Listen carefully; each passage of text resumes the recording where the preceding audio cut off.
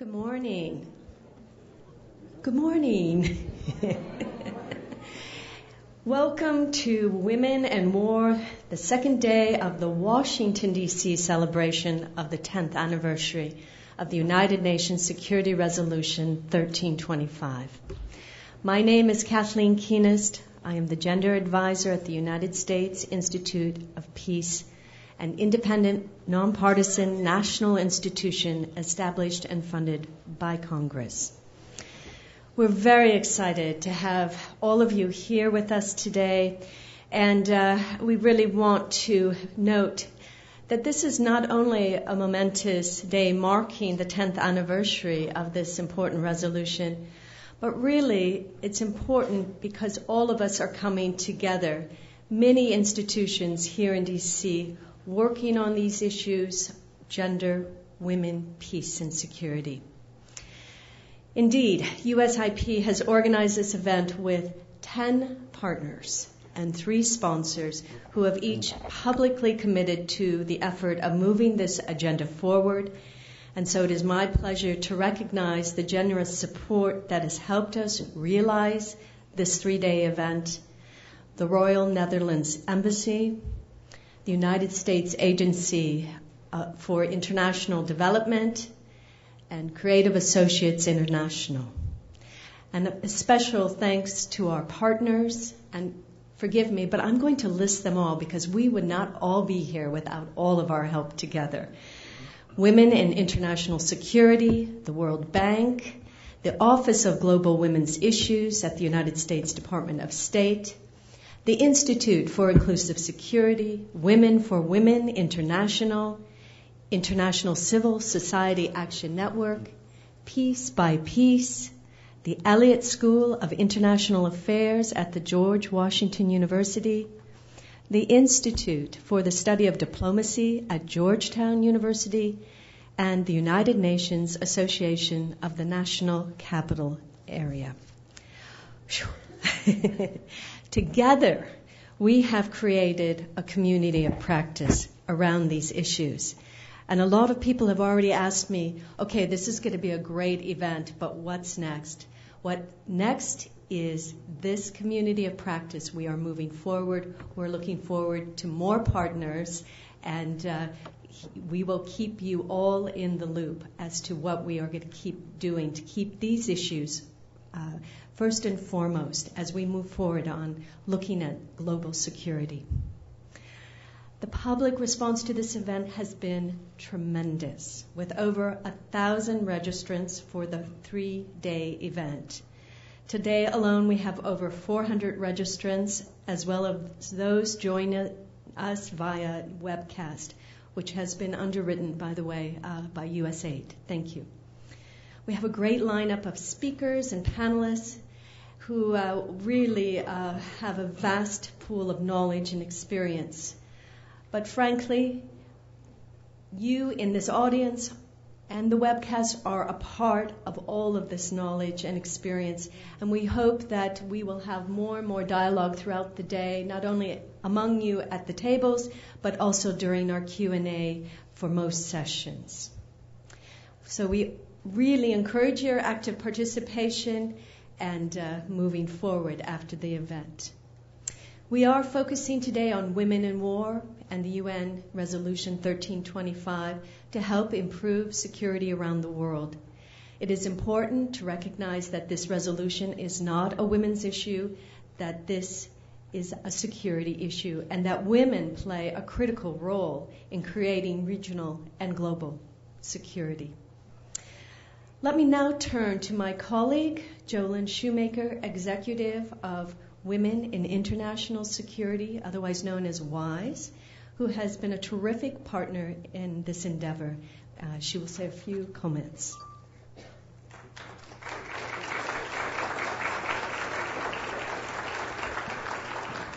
Thank you, Kathleen. And I just want to reiterate the thanks to all the partners and sponsors that have been part of this event um, and draw particular attention uh, as well to the government of the Netherlands uh, for their support uh, for this, making this happen. Um, just to follow up on what Kathleen has said, this is a really unprecedented opportunity for all of us. Um, as she listed the partners, I was really struck by the combination of uh, nonprofit organizations, academic institutions, and U.S. government entities that have joined together behind this issue. And I think that we can all use this unique opportunity today to certainly network as we do so well in Washington, but to also really think about how we can each in our own positions, jobs, responsibilities here on a daily basis move this issue forward. As Kathleen has says, we've been building a community of practice on this issue, and there's been a number of events that have occurred in the last few weeks and few months looking at 1325, Resolution 1325, assessing where we are and where we need to go. Um, and this is our opportunity in Washington to draw all of the relevant actors together to do the same thing that has been done um, in the past week uh, in New York and so forth. Um, this is not just an issue, certainly, as we all know, that is uh, relevant to UN actors and those in New York and other other capitals. Washington D.C. and our policy community here has a very, very critical role to play. And I think all of us in the civil society community were very, very pleased with the recent news that the U.S. government will um, develop a action plan on Resolution 1325.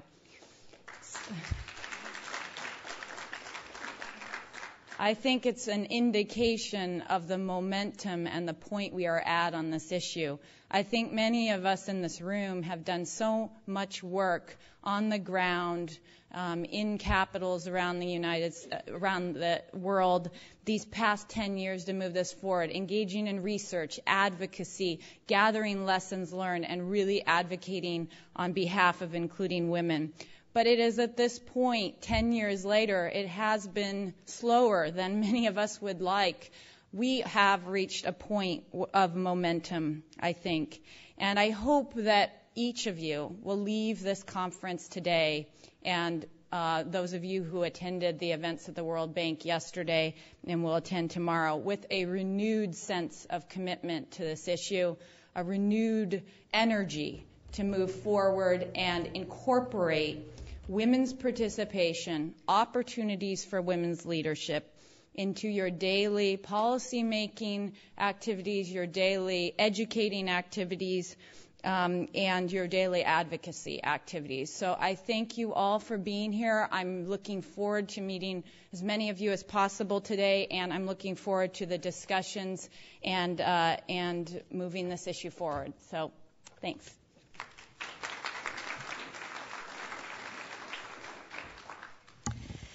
It is now my great privilege to introduce Tara Sonenshine, Executive Vice President of the United States Institute of Peace. In addition to her broad management responsibilities at the Institute, Tara oversees public education, public outreach, and programmatic activity, and has been intimately involved with our activities marking the 10th anniversary of UN SCR 1325.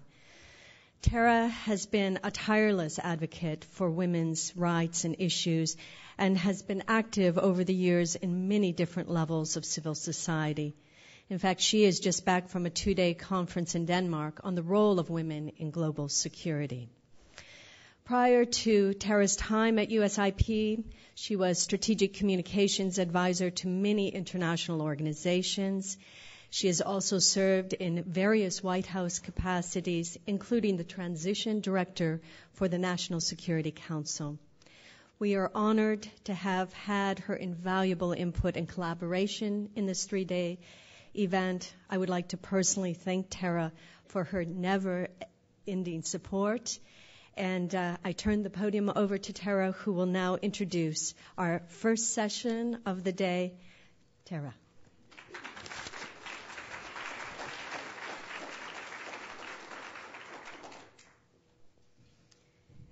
Okay, well, my first job is to raise the energy level in the room. It's a rainy Thursday. I think it's Thursday. Um, I'm still on partly Denmark time. Um, but I want to get you all inspired um, with the following couple of thoughts. First of all, we have with us today a class from the Naval Academy, and I want to welcome them and ask them to stand.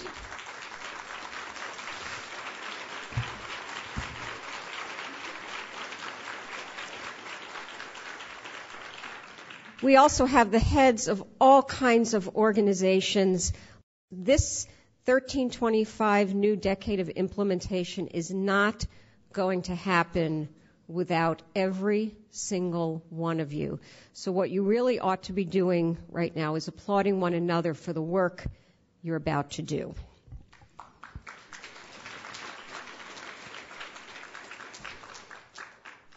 In Denmark, men and women gathered from the military, the civilian sector, and we heard stories from men and women from Liberia, Afghanistan, Uganda, Iraq.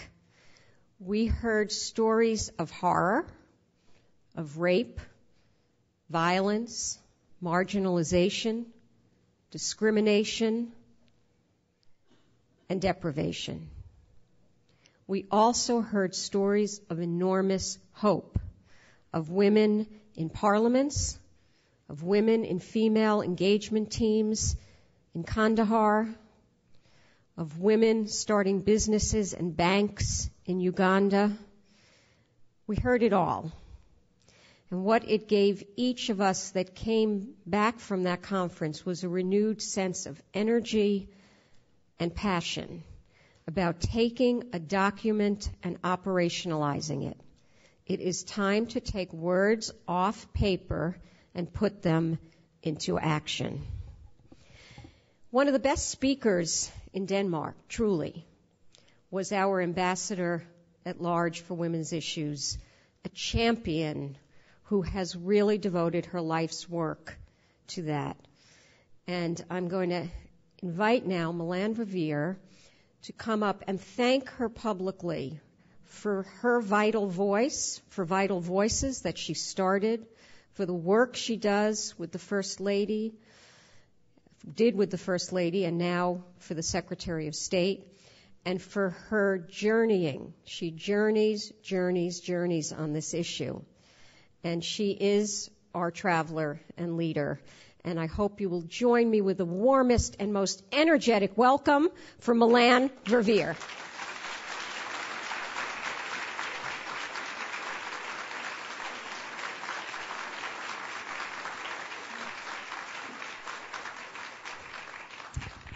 Well, we're all on that journey, aren't we? And I want to thank uh, Tara, who has uh, been such an extraordinary leader and a dear friend, for whom I'm very, very grateful uh, for her and for all that she does.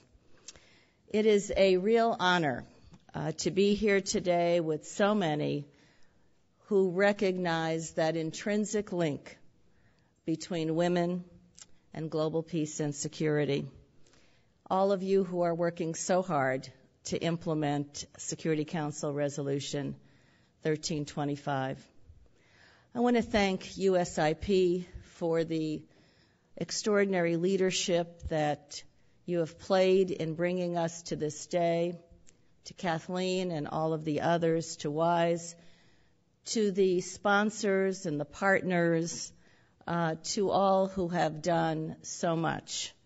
I want to uh, recognize all of our friends from around the world who are here, our friends from the government of Netherlands, Ambassador Chowdhury, who in so many ways is the godfather of 1325, uh, to uh, Special Representative Wallstrom, who will be here, uh, and many from my government. I am particularly delighted to be able to share this morning's session uh, with my dear friend, our Assistant Secretary in the Veterans Administration, Tammy Duckworth, who is an extraordinary public servant, just extraordinary. Admiral Mullins will be here later, and uh, so many others who are committed uh, to our common cause. This is an important and historic conference. It is a conference that will bind us to unstinting action for women's participation, representation, and involvement in all aspects of peace building. It is a conference we all hope will help us turn the page, as Tara said, from words to deeds in preventing gender based violence against women in armed conflicts. And it is a conference that will offer us all the vision and the strategies that we need to make 1325 a powerful tool for peace and security around the world. The facts are sobering. Of the 39 conflicts that have erupted during the past decade, only eight are entirely new. 31 are recurrences of conflicts that have never been fully resolved. And it is no coincidence that most of these conflicts have occurred in societies where women have had little power and were excluded from the process of negotiating and implementing the peace.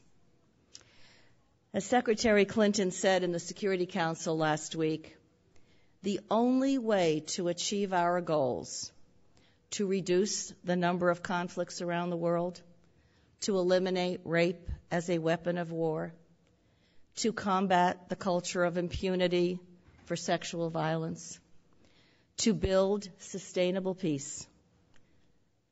The only way is to draw on the full contributions of both women and men in every aspect of peacekeeping, peacemaking, and peace building.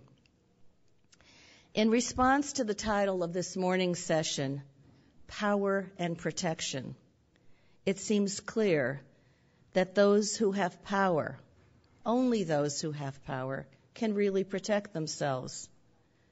Those who have political and economic power, the power of full participation in decision making at the highest levels, and the power to ensure that those decisions are enforced. President Obama's national security strategy reflects this by recognizing that Countries are more peaceful and prosperous when women are accorded full and equal rights and opportunities.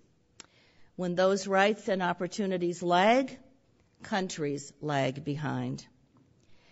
As we mark the 10th anniversary of 1325, we also observe a decade since the Millennium Development Goals were adopted by the UN General Assembly. MDG 3 to promote gender equality and to empower women is critical to the realization of all the other MDGs. And it is useful to note that among the indicators for MDG 3 are women's political and economic participation. Both of these are linked to 1325 as well. And it is significant to note that there have been increases in women in politics, thanks in part to quotas and other arrangements chiseled into constitutions adopted in post conflict societies. Now, last week, the UN Security Council held that special high level session on 1325 that all of you are more than aware of at this point. And Secretary Clinton spoke on behalf of the United States. She said, We all need to look honestly at what remains to be done to fulfill the promise made to women to be treated as agents of peace and reconciliation, not just victims of war and conflict. One week later, we are gathered here, not just to renew our commitment to the role of women in global security but to accelerate implementation of 1325, to learn from each other, to identify obstacles. What has been working? What hasn't? What are the new ideas that need to be developed and applied? How can we coordinate better among all of our partners? Because we know that despite all the positive steps that have been taken, progress has been too slow and too uneven and real progress has to be felt on the ground where it matters most in people's lives. Now, things are slowly beginning to change in a way that I think will make progress that much more robust and real. For example, women are more directly involved in defense and security, thanks to the work of so many of you.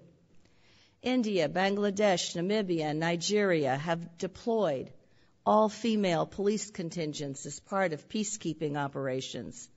The women have not only contributed to stability, peace, and security, but they have served as models for women in policing and inspired so many more in the host countries to become police officers themselves. The United States has embraced this as well all female engagement teams of U.S. Marines are working with women on the ground in Afghanistan and making a difference. And we were, and when we were in Denmark a few days ago, there were several representatives of the female engagement teams who told us uh, what a difference it was making on the ground. At, a con- at this same conference in Denmark, which was sponsored by the United States Embassy in Copenhagen, as well as the Foreign Ministry of Denmark, NATO Secretary General Rasmussen reported that NATO is incorporating the 1325 principles of participation, prevention, and protection into its directives and is ensuring that soldiers on the ground in Afghanistan and elsewhere seek to take into account the views and needs of women. Moreover, with the creation of UN Women under the able leadership of the former president of Chile, Michelle Bachelet, the international community will have a strong and essential partner on 1325. And the Secretary General's Special Representative Margot Wallstrom is working hard and truly needs the support of all of us to implement Resolution 1888 to combat sexual violence in armed combat, in armed conflicts.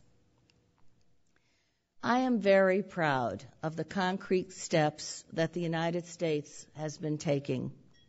For example, in Namibia, the U.S. military has helped to train nearly 600 peacekeepers on women's issues, peacekeepers who were later deployed to Chad.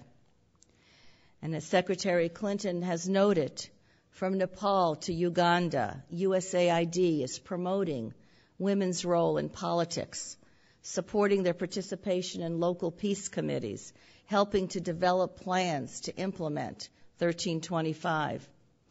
In fact, in the future, every USAID project to protect or manage conflict will study its effect on women and will include them in planning and implementation. And I think when Deputy Administrator when Deputy Administrator Don Steinberg is here later today, I'm sure he will expand on that. For example, USAID has included gender analysis into its $26 million annual reconciliation program worldwide. This program supports small, innovative, and state of the art programming and priority conflict affected communities. Additionally, the United States has written protection and respect for women's human rights into all of our peacekeeping training. Each of the hundreds of courses that are provided to foreign militaries include emphasis on human rights, protection of civilians, prevention of gender based violence, prevention of sexual exploitation, prevention of trafficking in persons, and elimination of child soldiers. Working closely with the UN and donors, the United States also will continue to bolster international police peacekeeping capacity in ways that are consistent and reinforce Resolution 1325. Next year, we will partner with several police contributing countries to provide pre-deployment training and other support to those police units, effectively preparing them to fully meet the UN standards. This will build on other continuing efforts, such as the Center for Excellence in Stability Police Units, a joint U.S. Italian initiative which trains police officers from around the world for participation in peacekeeping missions. We are also committed to training national police to strengthen their ability to combat sexual and gender based violence. For example, the U.S. and Botswana have jointly managed the International Law Enforcement Academy, a training center for police and security officials from 29 African countries. This past summer, they hosted a five day course on policing sexual and gender based violence for law enforcement officials from eight countries. And in Afghanistan, our diplomatic efforts have been rooted in the notion that respect for the rights of women, as protected in the Afghan constitution, is an essential element of democracy and stability. Secretary Clinton said last week, and she could not have said it more firmly the United States has backed women's inclusion at all levels, including in the recently formed High Peace Council, because we believe that the potential for sustainable peace will be subverted if women are silenced or marginalized. Our policy on Afghan reintegration and reconciliation is that it must be done in accordance with the Afghan constitution and the process must not jeopardize the rights of women. Its actual implementation. This means women's equality, the right of women and girls to go to school, to participate in the economic and political lives of their country, to be free from violence. All are guaranteed in the Constitution. And Secretary Clinton has stated our position on this on many occasions, and that is that women in Afghanistan are rightly worried that in the very legitimate search for peace, their rights will be sacrificed. And we will not permit that to happen because no peace, as she said, that sacrifices women's rights is a peace that we can afford to support.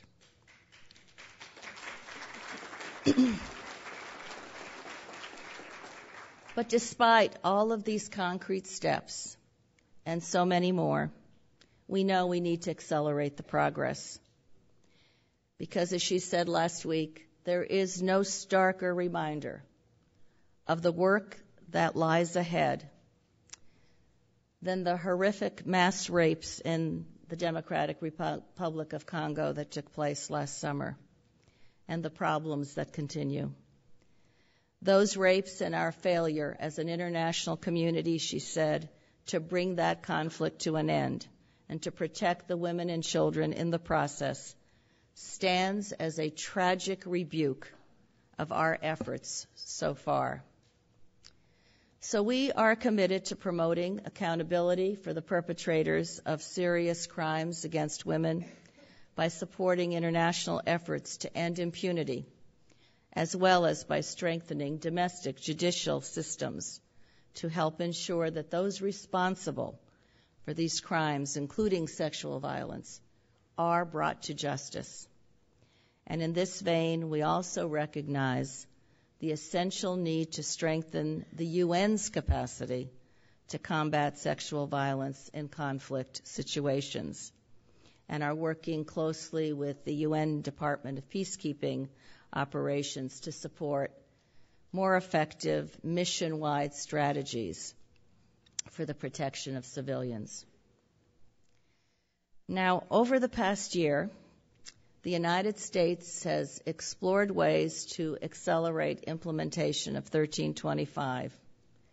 We have used a full range of diplomatic defense and development tools in doing so. We have met with members of civil society. We have mapped U.S. programs and initiatives that support the 1325 principles as contained in the four pillars of participation, protection, prevention, and relief and recovery. Secretary requested that all of our embassies throughout the world provide a summary of actions that they were taking. Many have been drawing attention to the importance of women in peace building, promoting women's economic empowerment, protecting women refugees, and promoting their participation, women's participation in military and peacekeeping forces. But it is also clear that we need to do more to advocate for the inclusion of women in peace processes and post conflict reconstruction, to promote the connection between economic empowerment and security and to raise community awareness of how to respond to SGBV.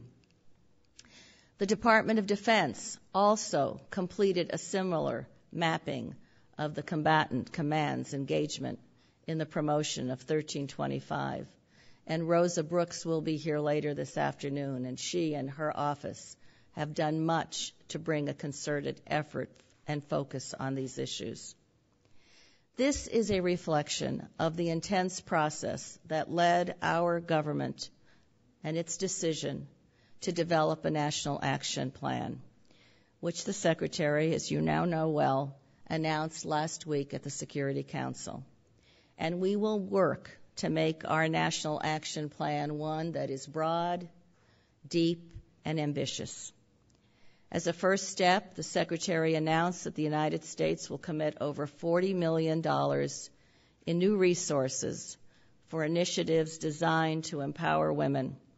The largest portion, about 17 million, will support civil society groups that focus on women in Afghanistan. 14 million will go to NGOs working to make clean water more available in conflict zones because in those areas when women and girls go looking for water, we know what happens to them in terms of their safety. Another 11 million will help expand literacy, job training, and maternal health services for refugee women and girls. We also know how indebted we are to all of you who are here today, you who represent particularly the NGOs, civil society, we want to thank those of you who participated in our consultations on a national action plan. And we thank you for your generosity in sharing your wisdom and sharing your experiences and for continuing your commitment. Secretary also announced that in order to measure our progress, the United States will adopt the indicators laid out in the Secretary General's report we will measure whether women are effectively represented in the full range of peace building and reconstruction efforts, whether they're protected against sexual violence, and whether they are the focus of conflict prevention, relief, and reconciliation efforts. Because measuring our progress will help us to be held accountable and identify those areas where we need to do more. And we must not look at women as victims, but we must look at them as leaders. And I am haunted by a statement that a woman in Afghanistan made to me on one of my last trips there. I mentioned this earlier because it stays with me. She said, Please do not look at us as victims. Look at us as the leaders that we are. Because when we are looked at as victims, we are not seen for the potential, for the effectiveness, for the abilities, for the experiences that we bring to the table. We are marginalized in the process. We must look at women's participation not as a favor to women, but as an ingredient that is absolutely essential to peace and security. Make no mistake, the structural marginalization of women we witness around the globe does not amount to a soft issue that we can afford to put aside while all the other so called hard issues are being solved. The hard issue we are gathered here to address is precisely this international peace and security depend on women as much as on men. And international economic growth and prosperity depend as much on women as it does on men. What we actually do what we do today, tomorrow, next week, and the days ahead to change women's role in the world will change the world itself. And I have no doubt that that will be a good outcome. Thank you all very much.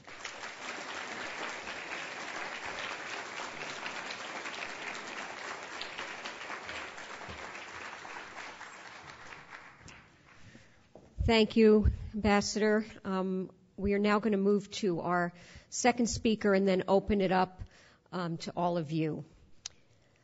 Many of you first heard about Tammy Duckworth reading in the press about her mission in Iraq, where her Black Hawk helicopter that she was co piloting went down and she suffered unthinkable injuries.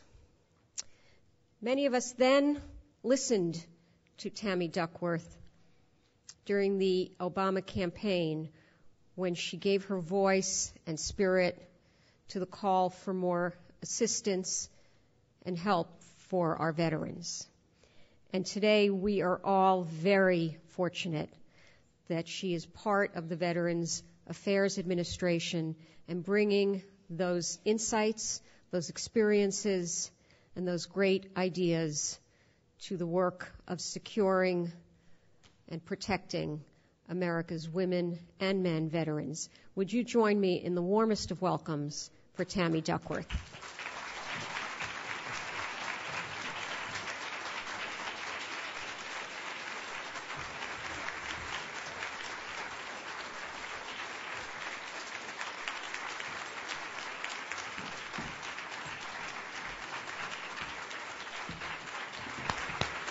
Thank you. Thank you. Thank you. And thank you, Ambassador Verveer. It's really an honor to be sharing the stage with you today. Good morning, everyone. Good morning. Um, well, thank you to the uh, United States Institute for Peace, Women in International Securities, and all the partners who are um, allowed me to be here today and for putting together this amazing event. I'm really delighted to be here to speak uh, to all of you. I was asked to come today to speak about my experiences as, as a female leader um, from the military and now at the, at the Department of Veterans Affairs. But I thought instead that I would like to speak to you about strength. And, and what exactly do we mean by strength?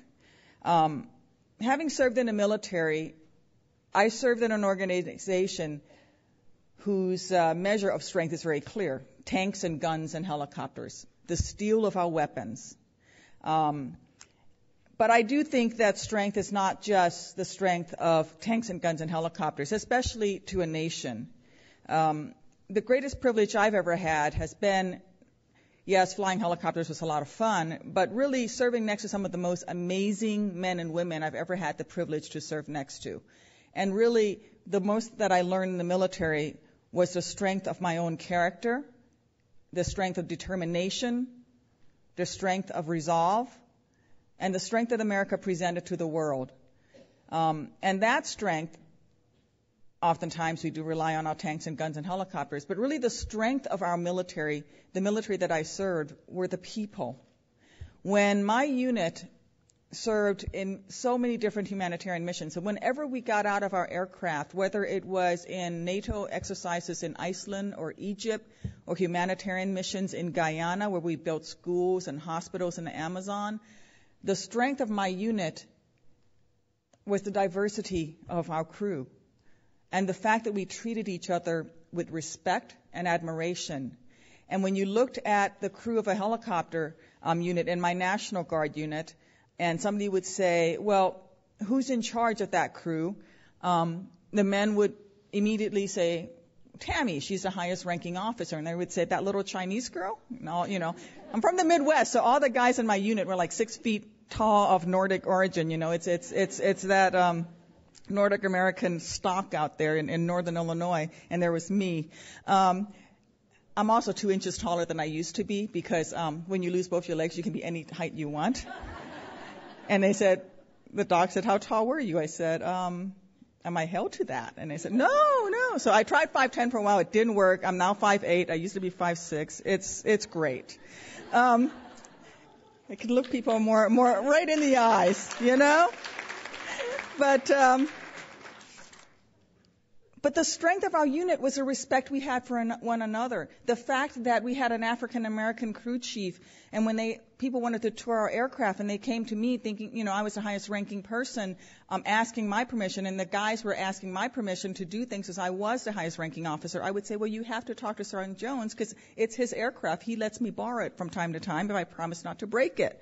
Um, and he was the African American crew chief, or our Latino door gunner that's the strength of our unit was the respect and the teamwork that we had among each other.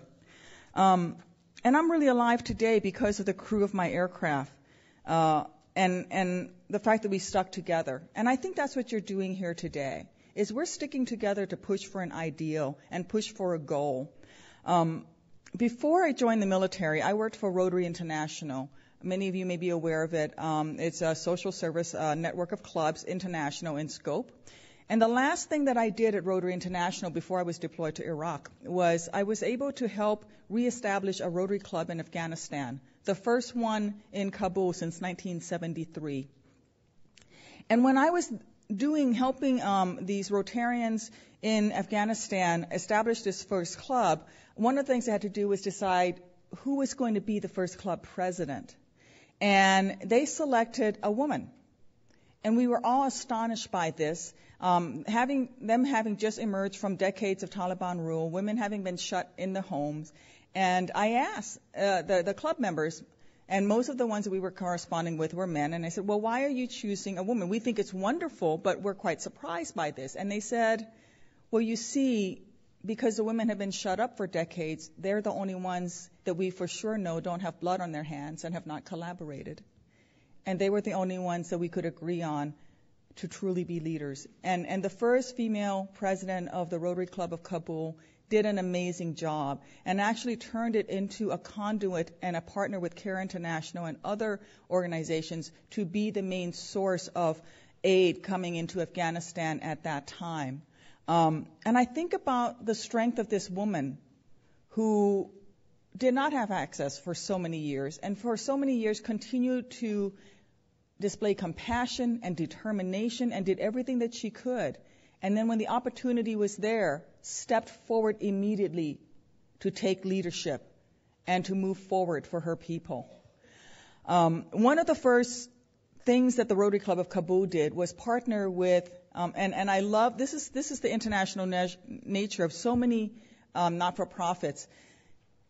It was the Rotary Club in California that had the funds that worked together with the Rotary Club in Pakistan in order to get funds and expertise into Afghanistan.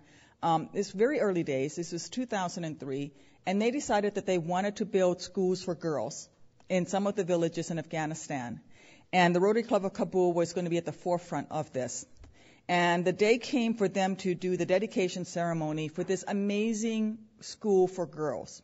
And you have to picture this image of villagers on a dusty mountainside, um, government officials there, U.S. military officials there, um, wealthy Rotarians from the United States, um, Afghani Rotarians, uh, mostly men, a few women there.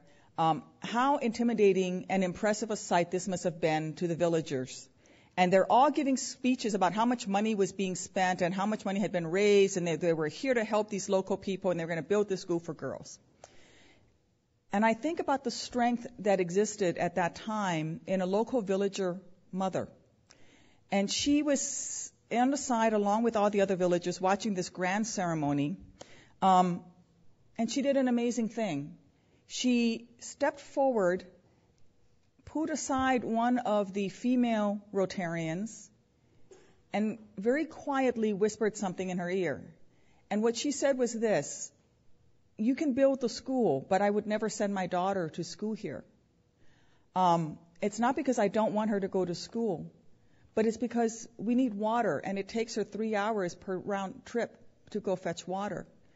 And my family can't survive without water, so how can I send her to school if she spends at least six hours a day fetching water? What we need is a well. And I think of the strength of this Afghani mother who faced with this assemblage of officials, stepped forward and found the one way that she could to get the message across to help her daughter, because she really wanted her daughter to go to school. And so we built a well so that the girls didn't have to walk three hours round trip each day to at least to fetch water. Um, and that is strength. Because I think that is far more courage than it took me to climb into a helicopter after many years of training. I don't know that I would have had the courage in that instance of having been oppressed, having been um, not allowed to have a voice, and yet to still, out of love for one's child, step forward. So when we talk about leadership and strength, sometimes leadership comes in, in different ways. It's not the country with the most guns and tanks and helicopters always. And, and I'm, I'm not apologizing for the strength of my nation and the strength of the military. I am proud of what I did in the military, and I will defend my nation. But I also think that the strength of this nation and the strength of many nations around the world is our conviction and our morality and our ideals and our belief in democracy and our belief in equality and opportunity for everyone. And that is the true strength. And that is why it is so important for everyone in this room to, when you leave this conference and you go forward, continue the important work that so many of you have been doing far before I ever came on the scene. Um, because somewhere there's a mother in a village who just wants a better life for her child. And she may not have the steel of an M16, but she's got the steel and the courage of love for her child. And she will step forward on shaky legs and confront those in power because she will, if given the opportunity and the access, because she sees a female leader somewhere, speak her mind so that she can get the help that she needs. And I really think that's what you're doing today. And, and when we talk leadership, we're not, we're not talking, at least I'm not talking about my ability to be as tough as the guys and swear like the guys and, and um, you know, all the things that I had to do to get ahead in the military. Um, back when I, you know, being the only woman in AMIO unit, let me tell you, I've, I've done some, I've done some pretty stupid but macho things to prove that I was just as tough as the guys. Um, and, and they were not always um, the right thing to do. Uh, sometimes it's about making the choices that come from who you are as a person. Uh, I tell this story, and, and it's a little bit of a funny story, but um, when I first became a company commander, um, and this is my lesson to the midshipmen for when someday you, you take command. Um, uh, I was a very young uh, commander in, in Army helicopter um, uh, units, especially in the National Guard. Oftentimes, the men are warrant officers who have been flying for 30, 40 years. I had Vietnam veterans in my unit, and I came marching on as a 28 year old, and I was going to take charge of this unit. Um, uh, first female, first Asian, all of that, all of that stuff. Um, and um, I, I lived in Chicago. It's pretty cold in Chicago in the wintertime. And I decided that I was going to have hot cocoa for my men to drink before we went out on missions and before, and as they were preparing the aircraft and they were coming back and forth, you don't want to give them anything with caffeine because you fly in such tight formations sometimes. Uh, 20,000 pound aircraft, 30 feet between your rotor blades sometimes if you're doing extremely tight formations. We rarely did that, but if you were, you don't want the jitters. So I had hot cocoa out for my men and I was the first person to do that. And the other company commanders, of course, immediately seized on this like piranhas and um, started calling me the mommy company commander. And I took that remark in exactly the way that it was meant as an insult and a pejorative. I didn't want to be the mommy company commander. I wanted to be the tough chick who's going to kick your ass company commander. um, and so I took away the hot cocoa. And you know what? My readiness rates went down. The ability of my men to perform their mission went down. And we weren't meeting our, our targets and our missions exactly on time because it was taking them that much longer to work on the aircraft because they were cold. It was taking them that much longer to um, hit their hit their marks. And I realized that the hot cocoa was making my men deadlier. So out came the hot cocoa, and my guys were back on track. And the heck with being called the mommy company commander.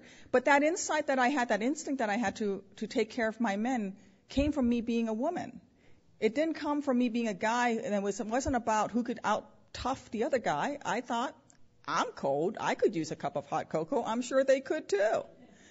And so, in my case, the strength that I found in myself was the strength to listen to my own instincts and bring that insight for, forward and to use that to accomplish my mission.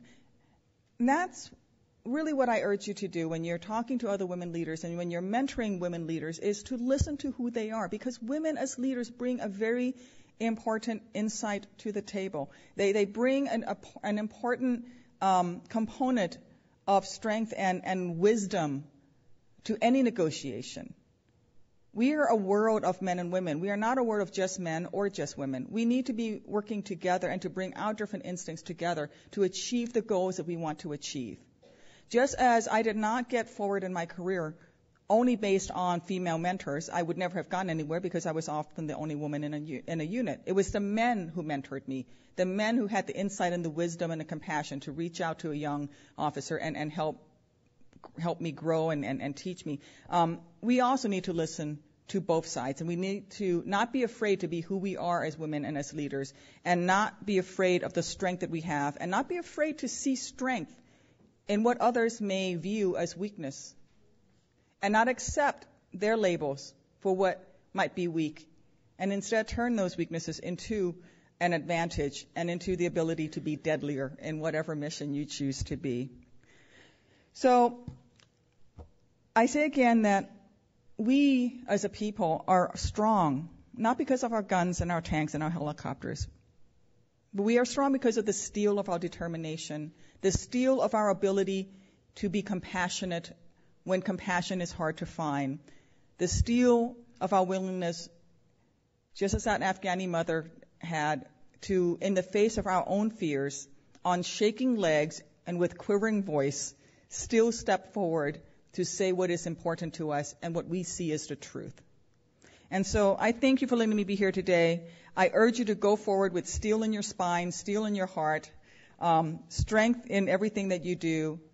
And let's get this done because it's time to stop being surprised that our daughters are fully capable of doing their jobs and fighting for freedom and fighting for equality. They've been doing it, they're doing it, and they will continue to do it. And we cannot succeed without each other men and women. Thank you for letting me be here today.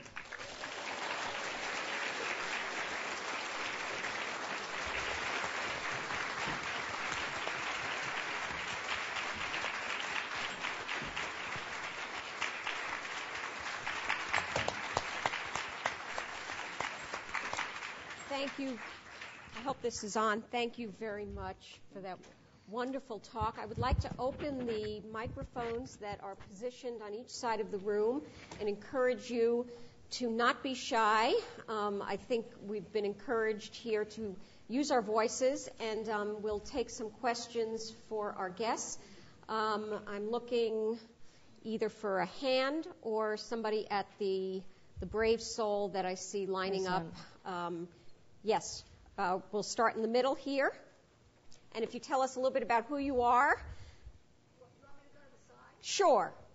Uh, while you're making your way there, let me um, start. If there's a gentleman there, go ahead, and then we'll take the uh, lady in pink following you.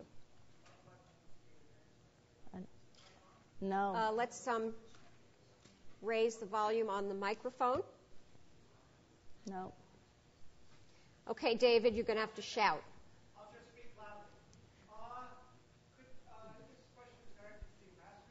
Could you talk in a little bit more depth about what the U.S. is doing and will be doing in Eastern DRC?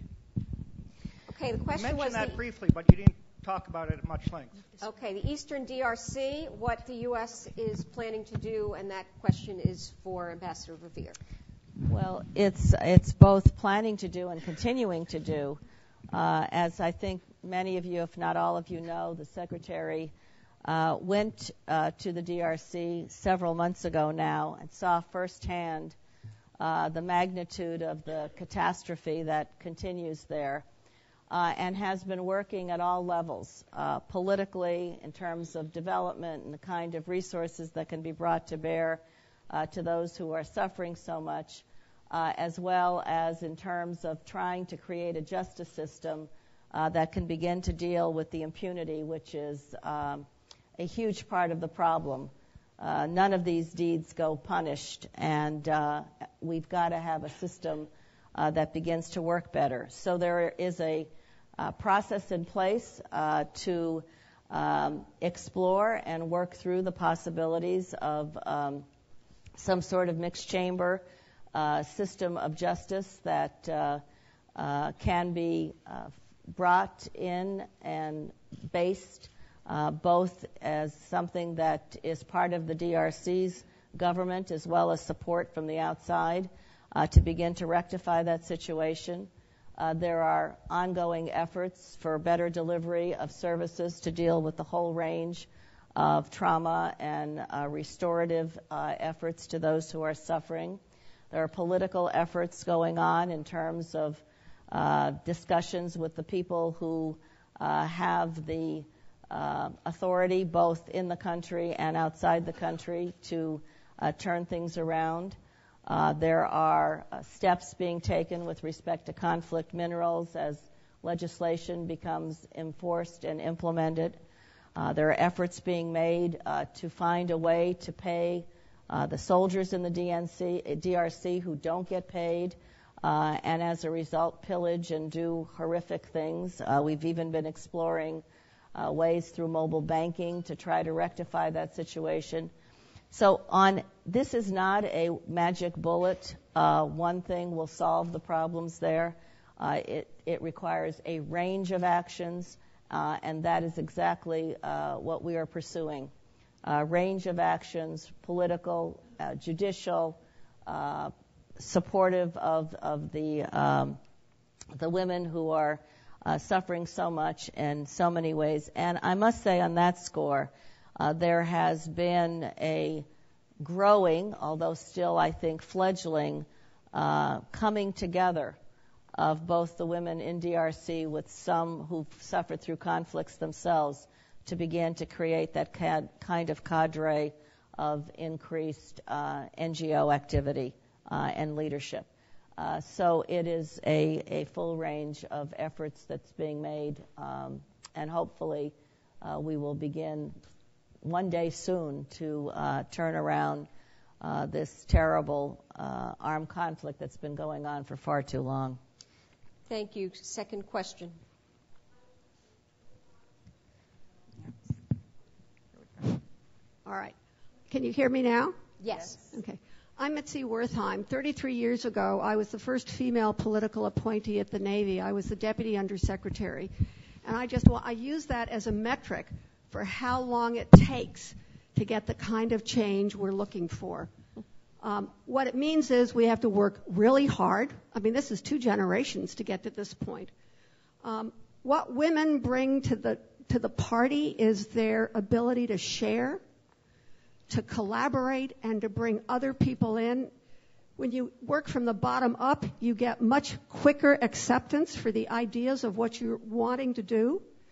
Um, I want to congratulate you all, but I think you have to recognize we're going to have to be conscious of the emotional needs of men as women move forward, and you have to take that into account in terms of how you're going to handle that.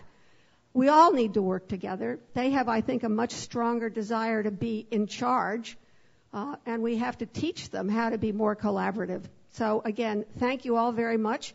I think of you as my children or my grandchildren. and it's just wonderful to see where we are today. Thank you. Thank you. Thank you. So, in, in response to that, I, I want to say that as women become leaders and take more leadership positions around the world, the important thing is not to become male leaders, that you become who you are and a leader at the same time. Um, if you become a male leader, if you take on that persona so completely, then you're not bringing anything new or anything of value to the table because they're already male leaders. And so stick with who you are, but be a leader in your own way. And, and that's not just gender, but it's also cultural as well. And, and I find that we're all more successful when there are many different viewpoints than a single one. Next question. My name is Teresa Delangis. I just um, finished serving in Afghanistan for two and a half years with UNIFEM, so I really understand the importance and um, the, the moment of opportunity for 1325 action plan for the U.S. internationally.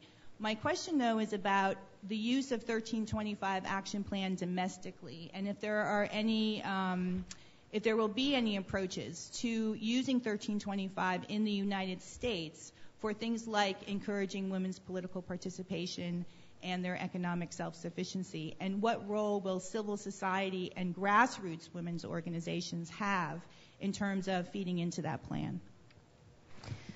Well, I think one of the most important uh, domestic uh, considerations is how we effectively function in our own government to ensure the full range of uh, implementation that's required.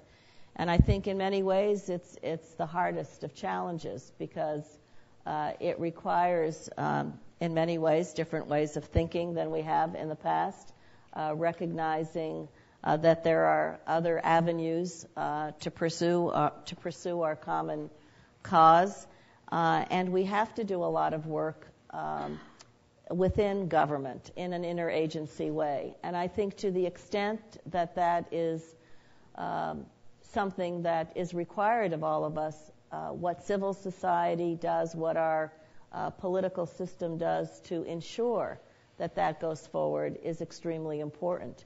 Uh, so um, the role that we play within this own country about the role uh, that women will have in peace and security and how we will implement that around the world is a vital link.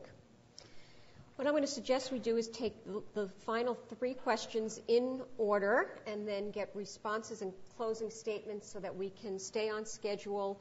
Uh, we have many speakers who've arrived for the next panel. So let, let us quickly, in staccato fashion, hear the three questioners, and we will try to incorporate your answers in our closing thoughts. Thank you. My name is Valerie Rosoux. I am a senior fellow at the USIP, and uh, Thank you very much for your outstanding presentations. I'm grateful. Uh, my question um, goes to you, Ambassador, and to each of you, the three of you. Um, Ambassador, you explicitly refer to reconciliation programs in your speech. Uh, could you tell me what you mean by reconciliation? I guess at the political level, and my question is also for each of you, what, what is reconciliation for you? What does it mean? Thank you. Okay, reconciliation we will come to. Raina, I don't know if this is on now. Okay, now it's on. Um, actually, I'll piggyback off of that question. I actually got back from Afghanistan a couple months ago where I was working with the Force Reintegration Cell on reintegration and reconciliation issues there from an ISAF perspective. Um, and I was actually confronted with the question as a young woman in a, a crowd of mostly Afghan civilian and military folks um, why are you pushing the issue of women's issues with us? Which was an awkward position for me to be in, but I do still feel very strongly in, and I agree with the sentiments you expressed earlier, Ambassador. But it's a question for mostly the Ambassador, but if anyone else wants to comment, um, this would be great as well. How would you respond to how can we uh, assert that we want to put forward women's rights as an important issue while remaining culturally sensitive? I got the feedback that it seemed insulting um, and that we were pushing our own cultural values as opposed to just standing up for women's rights. So, what your feedback is on that would be wonderful to hear. Terrific. And the third question. Hi. Thank you. My name is uh, Jean Kasongo, and uh, I'm come from Congo. I will be more comfortable if I speak in French because uh, uh what is there need to be uh, speaking in my uh, own language. Uh, my question is for the ambassador. Thank you.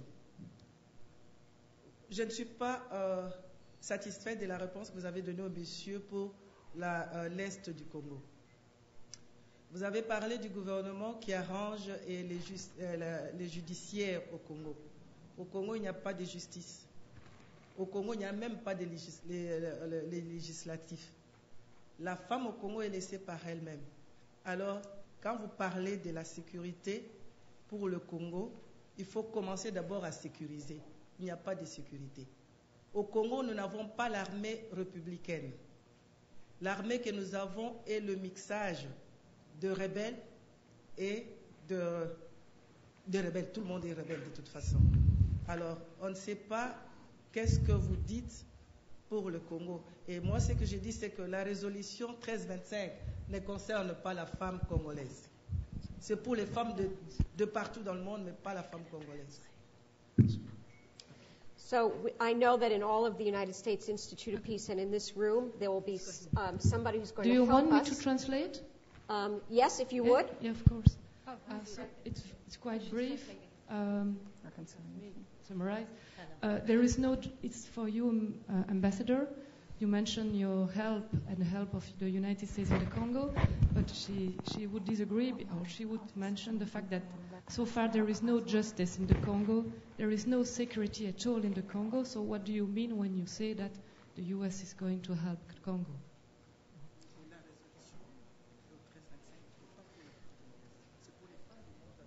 Okay. And the resolution uh, is not for the Congolese women, but for all the other. Yeah, 31. We all know. Uh, but it's, it's not for the Congolese women so far. Not for the Congolese women to what? to uh, reconcile. So I'm going to let um, Tammy Duckworth respond to the reconciliation question and to her broader um, closing thoughts, and then give the last word um, to Ambassador Verveer, and we will try to wrap together these issues of what is reconciliation. Secondly, how do we avoid foisting um, or preaching what we think are equal rights or inclusion of women onto a culture if there is resistance from the women themselves in any way, shape, or form. And then the final question that you raised. Um, so let me start here. Well, I, I truly believe that we need to grow leaders and female leaders around the world. Um, if that Afghani woman in my story did not have a local Afghani female leader to turn to, her voice would never have been heard.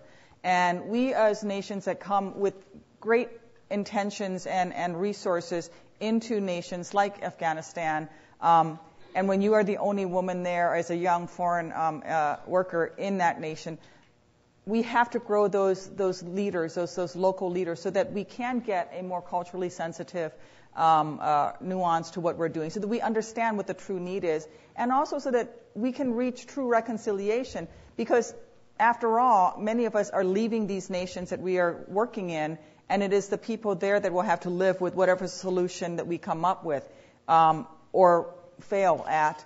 And we cannot implement the, these solutions without the leadership of local women who need to be part of formulating that plan and that reconciliation.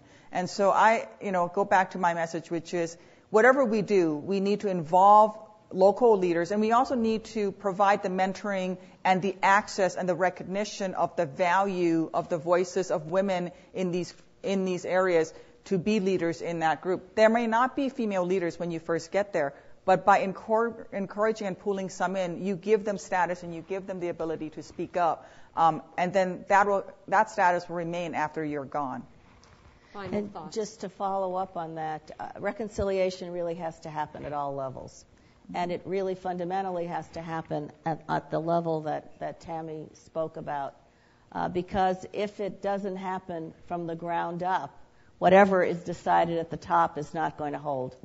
And so we have to have the kind of processes and uh, programs at that level to bring people together to reconcile between each other, and that usually happens over over uh, economic uh, possibilities, over a better life, over the things that are going to change the circumstances that will make conflict be something that's part of the past, not something that's embraced as continuing into the future.